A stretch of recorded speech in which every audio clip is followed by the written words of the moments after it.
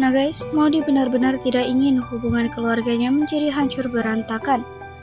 Akhirnya, di episode kali ini Maudi pun berusaha untuk mendamaikan Papa Arga dan juga Tante Emily yang telah bertengkar mengenai permasalahan peraturan yang telah dibuat oleh Papa Arga. Karena menurut Tante Emily, Papa Arga seenaknya saja membuat peraturan sembarangan.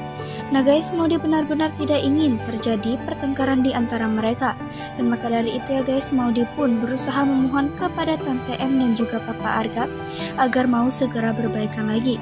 Untunglah ya guys, usaha Maudi ini berhasil. Akhirnya membuat emosi Papa Arga dan juga Tante Emily menjadi sedikit reda. Lalu, keadaan yang terjadi di antara mereka bisa sedikit mendingin ya guys.